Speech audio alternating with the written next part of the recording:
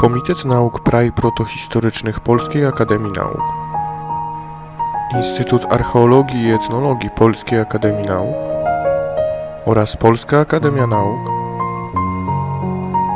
zapraszają na film z serii Wywiady z profesorami archeologii. Wywiad z profesorem Romualdem Schildem. Część siódma. Wyobrażenie o archeologii, a rzeczywistość. Wie pan, to były inne czasy, jeszcze nikt Diany Jonesa nie wymyślił, więc ja nie miałem takich wyobrażeń, że archeolog, y, y, wie pan, no, y, znajduje się, prowadzi badania w jakiejś świątyni, a, a w koło y, piękne dziewczęta sz- szaleją i węże i tak dalej, i tak dalej. Także zresztą przecież myśmy żyli moje pokolenie w bardzo szarym i, i, i, ponurym, i, i ponurym świecie, więc nikt nie miał e, specjalnych wyobrażeń. No mieszkało się na wsi, ta wieś była biedna. Wchodziło się do wygódki y, y, za, za, za, stodołą, e, która była do, dosyć szmrodliwa, nie stodoła, tylko ta wygódka oczywiście. E, Czasami trzeba było się bronić przed atakującymi świniami. No było takie to wiejskie, w zasadzie wiejskie życie. Czasami się mieszkało w namiotach, ale to była, e, to nie wszystkie ekspedycje, to, to była rzadkość. I miało się tam własne kuchnie, to zresztą e, e, no to zresztą moim zdaniem ni- ni- nigdy dobrze nie, nie wpływało. I, gotowało się, mm, to zresztą do dzisiaj trwa, że w lokalu, który się wynajmuje dla ekspedycji, to się wspólną kuchnię robi ktoś tam dyżuruje, prawda, jeśli chodzi, jeśli chodzi o gotowanie. No to i, i, i tak i tutaj było. No, no było, no, było siermiężnie, no co to dużo mówić. Nikt sobie nie wyobrażał, że będzie, że będzie wspaniale, bo myśmy wiedzieli, że siermiężnie jest wszędzie. Jak częste wyjazdy wpływają na życie osobiste archeologów? Wie pan, ja, no, ja lubiłem wyjeżdżać, no co to dużo mówić. Z wielu, z wielu, z wielu względów, no ze względów naukowych. Y, No, a po drugie, no widzi się no, inny świat, no i wi- ro- rozmawia się z innymi ludźmi. Często ma się wi- wi- wielu przyjaciół w tym innym świecie, których się nie ma tutaj. Rozmawia się na inne tematy. No jest to niewątpliwie barwniejsze, jest to niewątpliwie barwniejsze życie. I no i inne, jest to zmiana. Ja nigdy nie byłem urzędnikiem, więc jak pan się domyśla, no trudno jest porównać z takim, z takim życiem urzędnikiem. Archeologia, ar, życie archeologa w Polsce zawsze było w jakimś sensie ciekawsze niż codzienne chodzenie do biura. I, i, i tam inwentaryzowanie czegoś, czy, czy, czy księgowanie, czy y, jakkolwiek, no niektórzy ludzie, moja matka by, była księgową, no. Czy częste wyjazdy zmieniają archeologów? Wie pan, poznaje się innych ludzi, przyjaźnie, ma się przyjaźnie na ogół na całym świecie e, i, i, i, i, widzi się inny świat i zupełnie inaczej się myśli o całym świecie.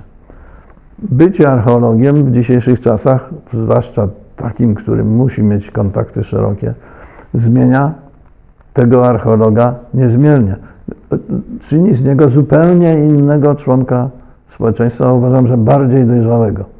Bo na przykład ja wiem, że jak tutaj przyjedzie Syryjczyk, y, to, to, to nie, nie zacznie mnie zaraz zażynać. Ja z Syryjczykami pracowałem bardzo dobrze, bardzo długo i bardzo dobrze ich wspominam, jako bardzo serdecznych i miłych i uczynnych, i ludzi. I, i pracowałem z Egipcjanami i, i, w różnych okolicznościach i, z innymi Arabami i w Jemenie ma masę E, ma, masę, jakiś tam czas e, przebyłem, gdzie e, przebywałem, gdzie nasi wszyscy kierowcy jeździli z kałasznikowami. Przy nodze mieli specjalny taki uchwyt czy podstawę na, na kolbę kałasznikowa i miał go przy prawej, ra- przy prawej nodze i przy prawej ręce. Także e, e, w, w, Etiopii y, widziałem ekspedycję wojska, która jechała pacyfikować, pacyfikować wieś, dlatego że tam tradycyjnie młody człowiek, żeby, żeby się ożenić, musiał przedstawić dowód męstwa swojej narzeczonej, a tym dowodem męstwa było zawieszone genitalia na, na słupie przed jej domem. Genitalia oczywiście jakiegoś innego mężczyzny, w domyśle wroga. Tylko to się okazało, że to była, by, by, był jeden z członków wyprawy geologicznej, który został przy, pilnował, pilnował helikoptera, jak tamci wyszli, wyszli w teren.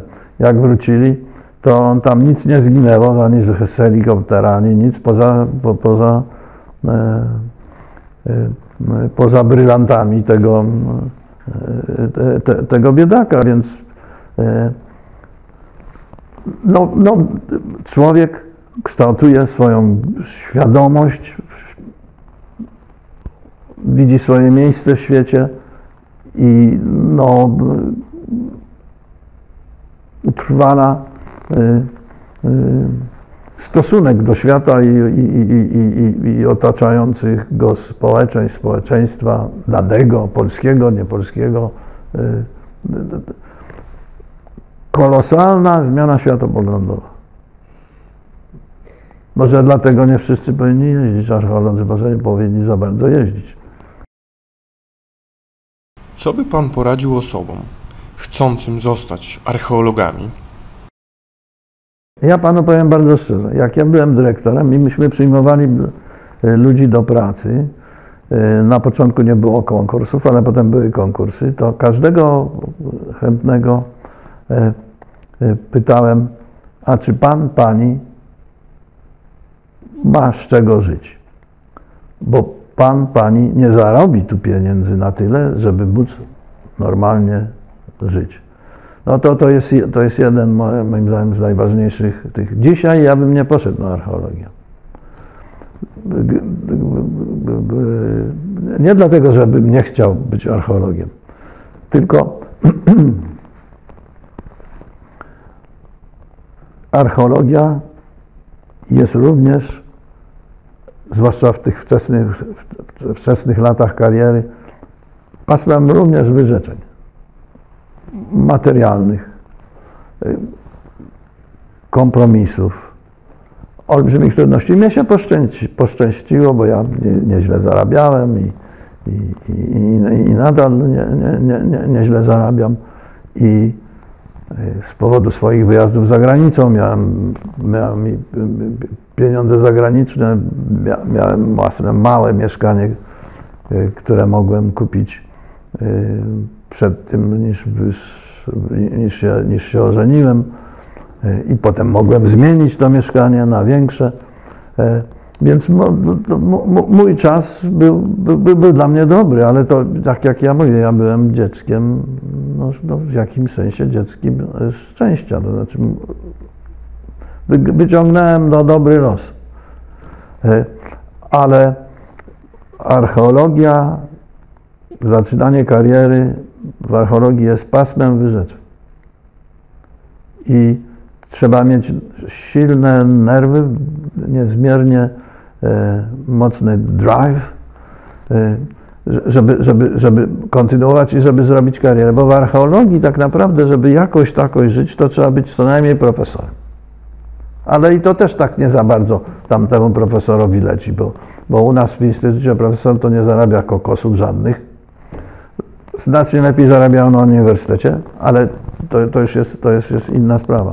Także trzeba wiedzieć, że przez całe życie będzie się narażonym na, y, na, na, na możliwość niedostatku. Y, ale to nie jest tak, że to tak tylko jest w Polsce. Dlatego, że w wielu krajach, nawet tych bogatych,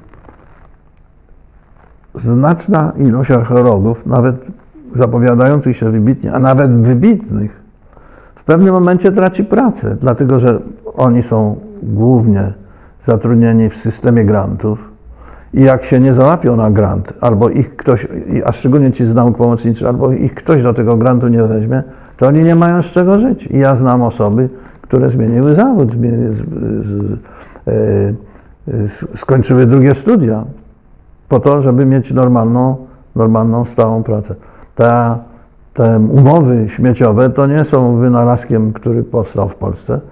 Są na całym świecie i dotykają w olbrzymim stopniu archeologów na, na, na, na, nawet w najbogatszych y, krajach, krajach Zachodu. Tak nie jest w Ameryce na ogół, ale dlatego,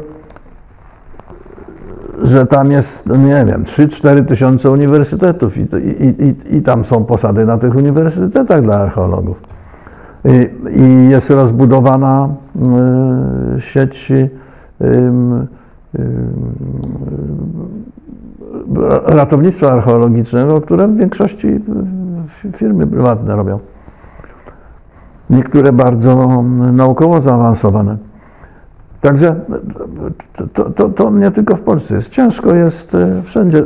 Archeologia jest, wiąże się z, wy, z, wy, z wyrzeczeniami. I będzie się wiązać z wyrzeczeniami osobistymi, ale i finansowymi. Życzeniami rodzin,